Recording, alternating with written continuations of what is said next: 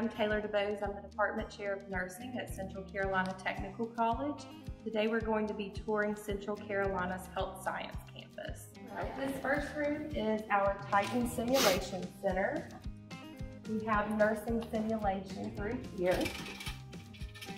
In our first room, we have our OB simulator. Her name is Victoria, and she actually births babies for us. How many babies has she had? Oh, hundreds. Hundreds. hundreds. Poor Victoria. Right. She, she does her work. So she's got her belly up here and she will push the baby out and our nursing students get to practice taking care of her. And then while she's laboring, they help deliver the baby. And then afterwards, they have to take care of mom and baby in the postpartum Oh. period. Uh, we have the monitors up here that will show the fetal heart rate while the baby's still inside of her. Um, so they're watching mom's vital signs and baby's vital signs. Does she react to different things you do? She does. So she, when she's cut on, you see that she's blinking. Um, we can make her talk so she interacts with the students. They can take real vital signs on her, um, do real checks. We can swap out her bellies. So she has the birthing belly and then she has one that's for Leopold maneuvers where you're feeling exactly where that baby is positioned and knowing if she's in a good position to deliver that baby. Wow. D- can is she breathing? Can you feel her breath? Or Yes, she is breathing. wow. She's breathing. She has her own heartbeat. You can feel her pulses. Very neat stuff. Very. How long have you had Victoria? Um, we have had her for years now. Uh-huh. Um, so she has birthed a lot of babies right here at Central Carolina. trained a lot of students on how to take care of these women. And then over here we have Oh, the placenta. right. Very lifelike. Yes. Um, so we teach students what to look at, how to assess this. It even feels kind of real. Um, we've got the umbilical cord here. That's also very lifelike. This is the baby that she births out. uh-huh. Now this isn't the baby that the students take care of. So as soon as this baby comes out and is delivered, they switch over to our simulation baby. Okay. So this is newborn Tori. Mhm. She's a um, neonatal simulator. She can, um, she has a heart rate, she breathes. She can also turn blue around her Hmm. mouth and everywhere, and that would indicate that they need to do something to help her out. Um, we have our radiant warmer here that actually works, so the students will turn the lights on and they can provide heat to the baby afterwards and hook up oxygen if they needed to. Um, so they do a lot of care with baby right here and then they'll be able to see baby's vital signs up there. And we've got the neonatal stethoscopes that are much tinier so they can hear that fast heart rate. Um, with newborns, their heartbeat is going to be anywhere between like 110 to 160 beats per minute. So it's Mhm. pretty fast, especially compared to an adult where it's normally 60 to 100. Right. Um, so it takes a lot of practice to be able to get used to counting that fast. So in this simulation, they spend um, three hours in here. Mhm. So we'll have one group come in and they'll labor the patient, they'll do the delivery and do immediate postpartum care, and then we'll swap out and they're in the other room watching um, their classmates complete their part and then we debrief and see what we could have done better and sometimes even come back in for more practice if needed. Great. Um, over here we have an IV arm. So this is where they practice putting in IVs. And we have the same IV pump that are used in the local hospitals around here so they can go ahead and get practice with that. They can also practice venipuncture and the arm will actually give them blood return when they get Mm. into the vein so they know if they've done it correctly or not. Wow. And then we have an electronic medication dispensing machine here, um, which is similar to what they see in the hospital. So they click on their patient and it'll make a medication pop out the drawer and they know that that's the right one for their patient. Further back, we have one of our adult simulators. We have quite a few of these guys. So these are our Apollo adult mannequins. Um, they also have vital signs, they have pulses, So the students will train on how to assess their patient with him. Um, we use these quite a bit for our adult med surg classes and our mental health class as well. Um, so we see all kinds of scenarios. Sometimes it'll be a patient with a cardiac problem or a respiratory problem. So it's very versatile and we can show the students a lot of different scenarios that they may encounter in real life. Um, they've got the screen up there that would show vital signs with the patient in here and we've got the computer where, the, where they do their charting and look at the patient's vital signs from previous encounters, lab values, radiology reports, that type of thing. On the wall we have working suction um, set up. We have the oxygen flow meter. We can also do medical air and even pull a code blue if they needed to. What is a code blue? So a code blue would be when the patient is either not breathing or doesn't have a pulse or maybe mm. both. Um, so that would mean that the patient needed resuscitation. So they would go and grab their crash cart, bring it into the room and start CPR on the patient. Okay. So we try to do the scary scenarios like that in here 1st mm -hmm. So when they encounter it once they're out there nursing, it's not as intimidating because they've seen it before. This mm-hmm. is a mm-hmm. very low stakes environment, meaning that we allow them to make mistakes in here because then it encourages them to ask questions when they need to and not be afraid when it really happens because they practiced it before. So we don't fail them off of any right. simulations, which is nice. There's always a chance to go back, try again, do better, or just learn from it. But in their last semester, they do get to practice a code. So they know that the patient is going to die during the simulation. Mm. And they have been taught about the medications that they need, about how to do CPR, and we let them go to work doing that. In here, if you want to see, is our control room. This one goes to the OB room that we just mm -hmm. saw, and it goes to the pediatric room. So the instructors have the tablet in here, which is where we're controlling what the mannequin's doing. We can change the vital signs and everything right here. Um, this is the fetal heart rate and the contraction monitor that is on the patient. So we can change this in here as well and it shows up on the screen in the room. So we can see what the students are seeing. So this, you make the mannequin have contractions? Yes, wow. we do. And they register right down here and this one's showing the fetal heart rate. So what we ask the students to do is to be able to read this to see how well the baby is responding to contractions, to see if they're handling labor well, or if maybe she needs a C-section or mm. some kind of emergent intervention. Here are the patient's vital signs that will go up on the monitor in the room. Um, we can update these as the patient's status changes and in response to what the students do for the patient. So if they gave a blood pressure medicine, we could drop the blood pressure to show that that medicine took effect. So that's pretty neat too. Mm -hmm. And then we've got the camera here. We're able to zoom in. So if they were performing a skill like the IV insertion over here, I could zoom right in to see exactly what they're doing. Mm -hmm. And we can record this so when they are evaluating themselves, they can see exactly what they did, which right. is a great learning tool because sometimes you don't realize it until you watch it back. Yeah. So they're in there alone and you're yes, in just here. students in there mm-hmm. and we're in here watching. We use the microphone to talk as the patient or the instructor mm-hmm. sometimes if needed.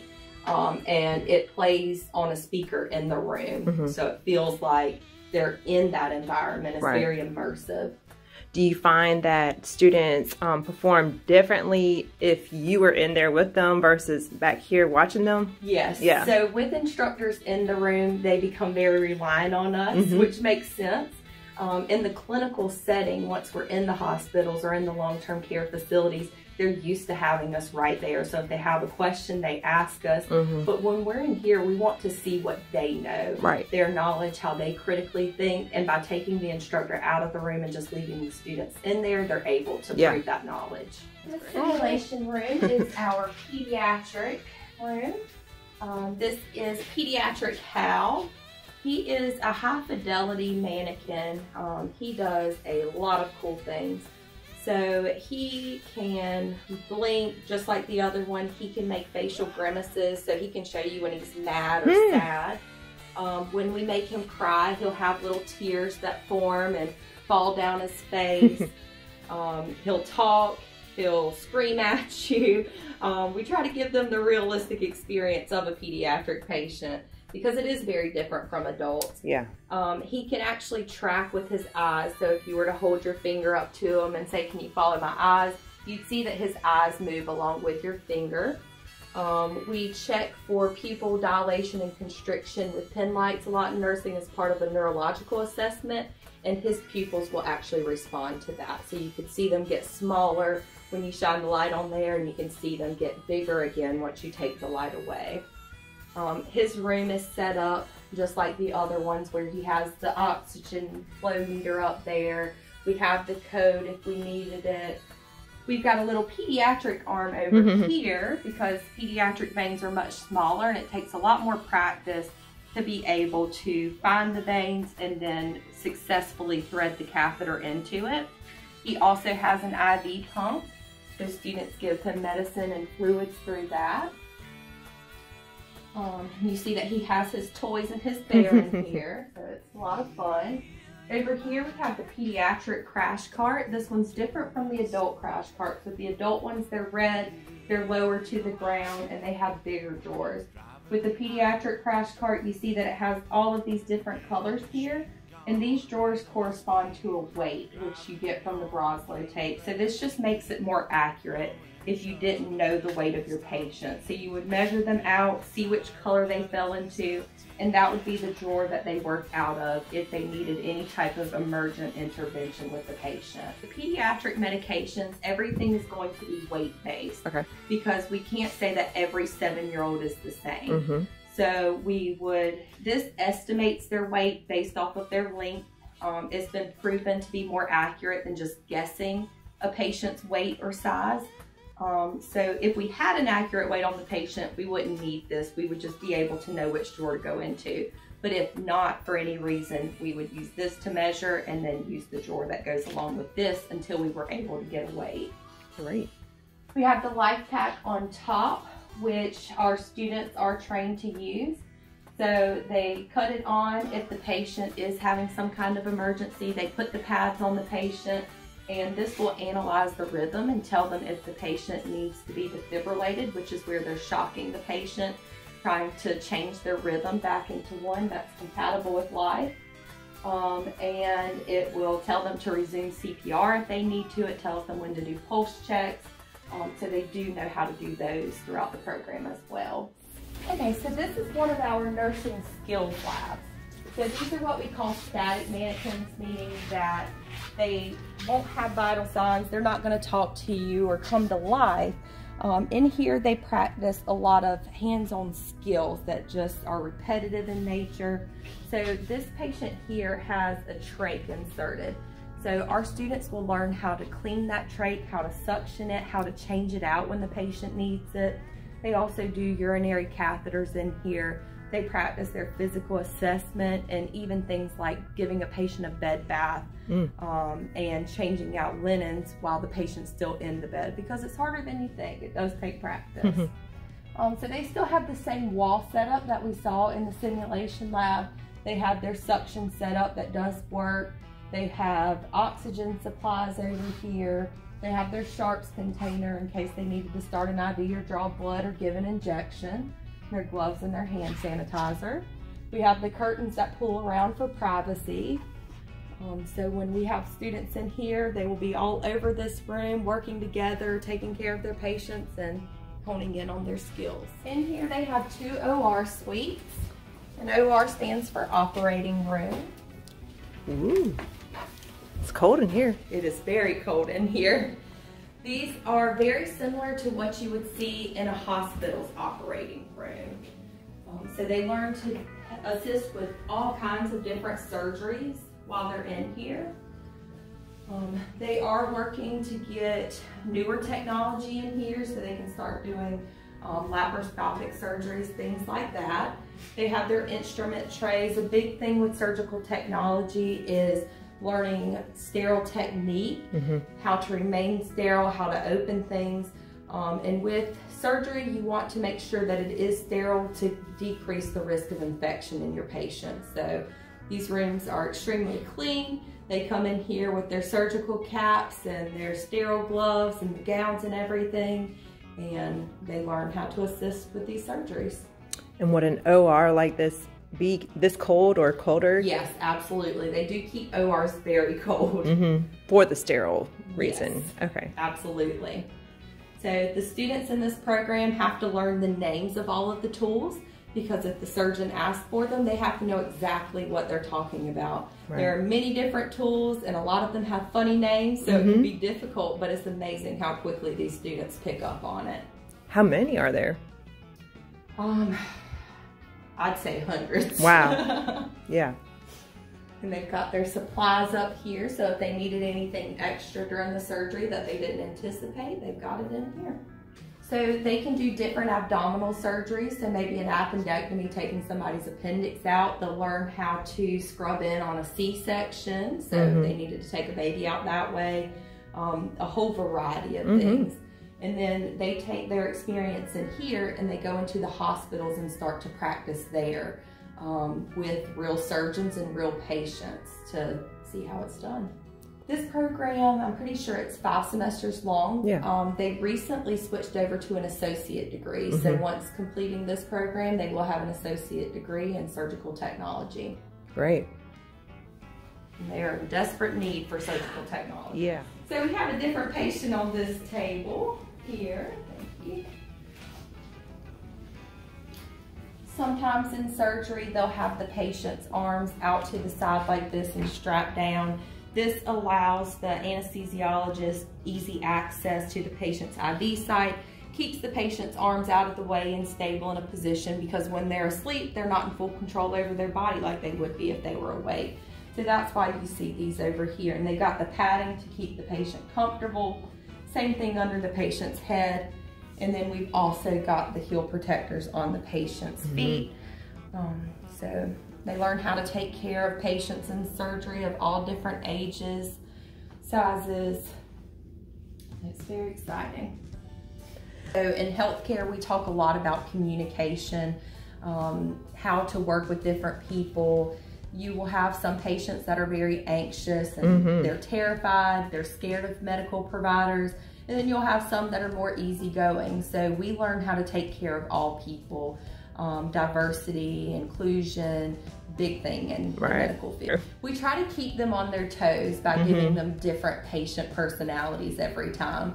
So we could change it at any moment um, because whoever's controlling that simulator is in control of how that patient's going to present. Okay. So we could make the patient angry and see how they'd respond. And if it's not the right response, they can practice again because we're in this um, in this setting. So it's better than dealing with a real patient for the first time yes. where you can't go back if you've already said something. So. Definitely. So in the control room, y'all are controlling what the the person responds and what they say and Absolutely. do. And then you can adjust it according to the way they adjust. Yes. There's things where they scrub in. Uh -huh. So they have to scrub for several minutes to get ready to go into the sterile environment.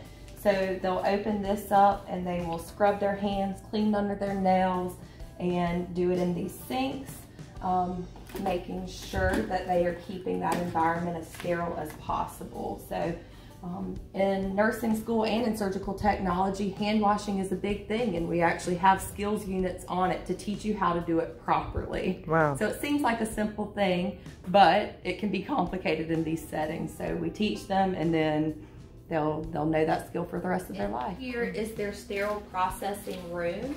This is where they process all of the tools that they use during surgery and they get them sterile so they can be used in another surgery. So mm -hmm. part of their job is to manage these tools. Um, so they learn how to do that aspect of it in here. Some days you'll come in here and you'll see tons of tools scattered all over this counter with the tags and that's when the students are learning the names of the different tools. They get to work with them um, and get used to how they feel before they need to assist with them in a surgery. Right, so this is our pharmacy technician lab. We're not able to go in today, but they do have this room set up with, of course, fake medications, um, but they learn all about different medications, how to prepare them. Um, they learn how to count them quickly, like what you see in the pharmacy. So they do a lot of hands-on stuff in this mm-hmm. lab. They will be able to um, go work in pharmacies in the outpatient setting like Walgreens, CVS, or even within a hospital or doctor's office. Right. So a lot of options for them once they finish. Okay, so this is our medical assisting lab. This one's set up to be more like a clinic or doctor's office type setting. Um, so they have their patients up on the exam tables here and they'll be taking vital signs on them, running EKGs, maybe drawing blood. So they learn how to do all of that within this lab. Um, so a lot of the times in health sciences, we'll do a little bit of lecture, talk about what we're going to do, and then break out and actually go practice it, and then come back together and talk about what we can improve on, what we did well, um, and really just bring the learning together. Good. So it works out nice. We can address all types of learning styles within these environments. So this is our massage therapy lab. This is a two semester certificate program. Um, and they are eligible to sit for a licensing exam after this or um, certification exam after this. You said it's two semesters. It is two semesters. Wow. Um, so these students will come fall and spring and then they can go out and be massage therapists. Um, so they actually perform massages on real people in this lab. Oh. So they'll invite their family, friends, um, faculty, and it's open to the public as well. Um, so they're practicing these massages on real on real people. Mm-hmm. So it's nice because people are getting affordable massages while the students are getting their practice hours that they need. Um, so they've got the massage beds in here. They've got, um, they'll put the clean linen out. They learn how to do all of that, make a very relaxing environment in here. They keep it nice and toasty in here. I was going to say, yeah. They do them in the evening and on Saturdays mostly. So this program is an evening program, which mm, is really okay. nice for people who go straight into the workforce yeah. or start a different thing and want to do this on top of that. So it, it helps a lot of those students with those needs. So they'll advertise it when they're getting ready to start that portion of it and um, people can come in, sign up and get their massages. I think so, Okay, $25. Yeah. That's a really good, yeah. yeah. Do y'all ever have a shortage of people to massage? Not typically, no. no. When they start looking for people, they find them.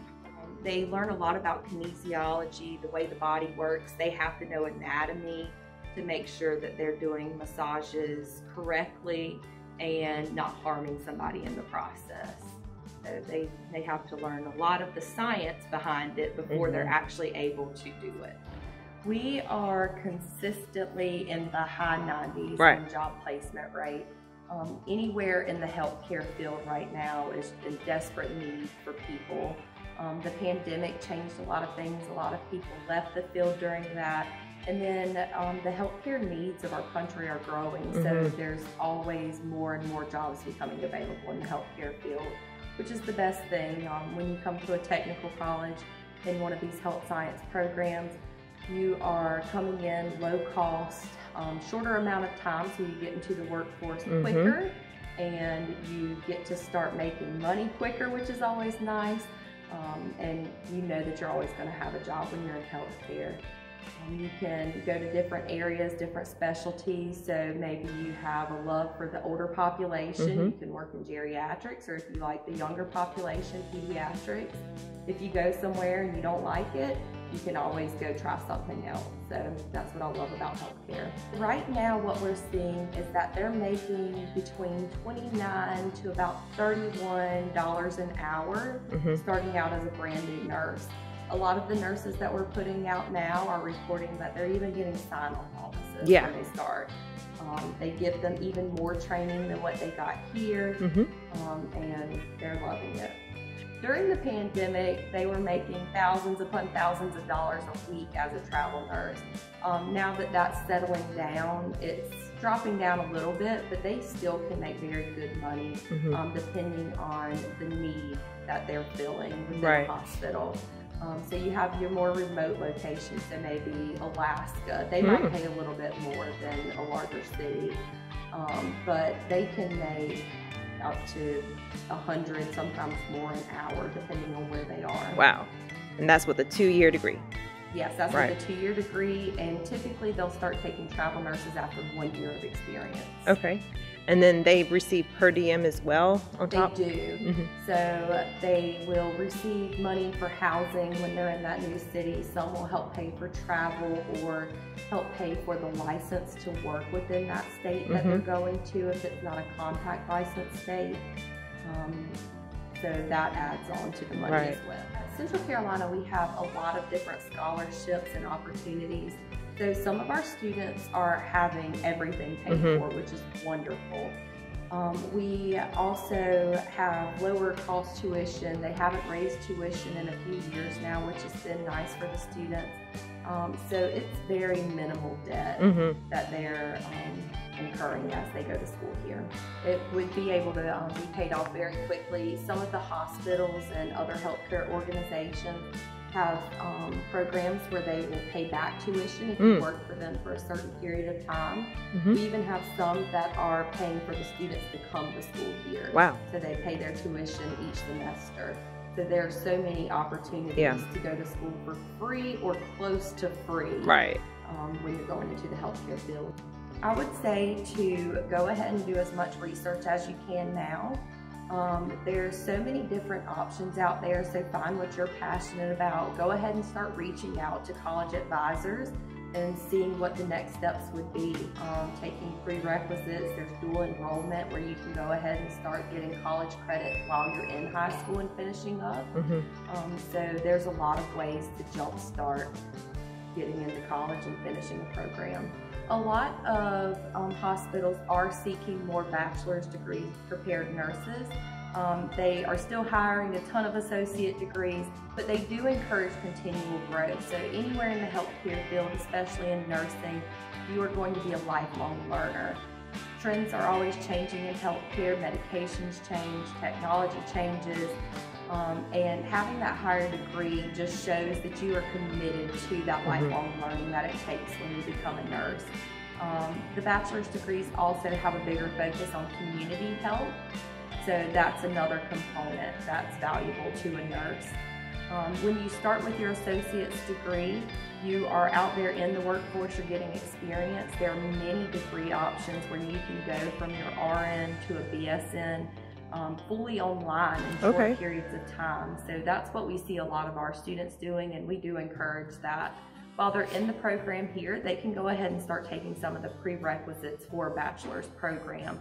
So when they get out of here, get a little bit of experience, they can start taking those bachelor's of um, nursing classes right away. And have it paid for by their employer. Absolutely. Right. It truly is my passion in life, and it's wonderful to be able to help students get to where they want to be. And we think about all the patients that our students are out there impacting their lives in such a positive way. It's a rewarding field. It's, it has its challenges too, of course, as any job does. Um, but in healthcare, there's a place for everybody, and you'll know that you're truly making a difference.